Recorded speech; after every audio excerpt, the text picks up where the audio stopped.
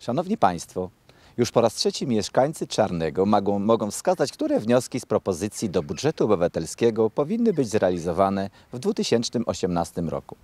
Komitet Osiedlowy nr 1, wychodząc naprzeciw oczekiwaniom wielu mieszkańców naszego miasta, proponuje zamontowanie 12 lamp solarnych przy głównych alejkach obu cmentarzy w Czarnym.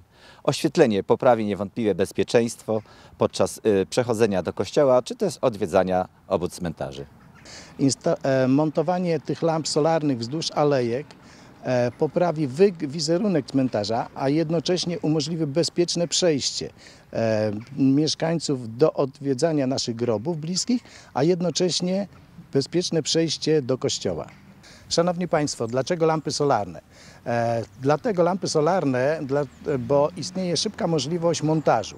Sami możemy te lampy ustawić sobie bez zbędnych projektów w miejscach, gdzie nam to najbardziej odpowiada. E, Lampy solarne e, funkcjonują e, na zasadzie energii odnawialnej. E, utrzymanie takiej lampy praktycznie nic nie kosztuje.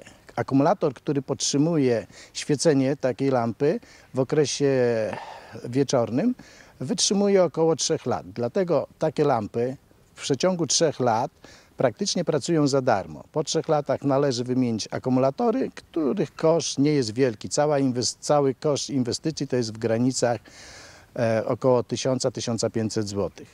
Szanowni Państwo, wszystkie propozycje do budżetu obywatelskiego są niewątpliwie ciekawe, ale nasza propozycja jest najciekawsza, bo to jest pozycja numer 5, czyli po prostu propozycja na piątkę. Szanowni Państwo, zapraszamy wszystkich na głosowanie w dniu 25 września od godziny 12 do 20 w Domu Kultury Czarnej. Piątka.